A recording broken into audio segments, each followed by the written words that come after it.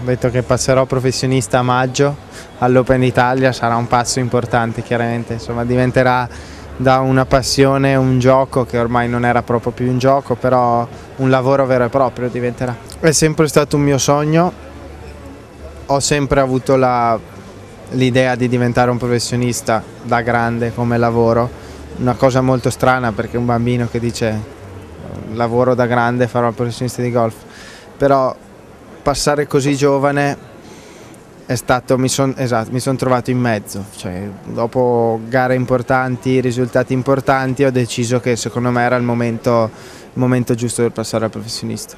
Il sogno di un giovane giocatore di golf qual è? Vincere uno dei quattro major come esistono nel tennis, esistono nel golf con diversi nomi, però sono i tornei più importanti, i quattro tornei più importanti e poi giocare la Ryder Cup che è l'evento per eccellenza. Adesso si aggiunge il giocare le Olimpiadi.